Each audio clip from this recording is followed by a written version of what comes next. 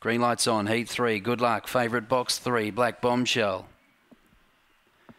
Away now. Black Bombshell began only fairly, is being squeezed, and Lotzi Manelli leads narrowly from Zabo Manelli. Sky the Manelli third. Patchy Cat fourth and sweeping hard. Then Black Bombshell the fence from Roxy's double copter bump. Second last Magic Manelli, last standard issue. Patchy Cat moved up to Lotzi Manelli. Black Bombshell's coming again on the paint. Then Sky the Manelli. Patchy Cat, Lotzi Manelli. Look out, Black Bombshell. The Bombshell gets up on the fence to win. Photo second. Patchy Cat Lotzi Manelli. Fourth, I think, Sky the Manelli just ahead of Standard Issue.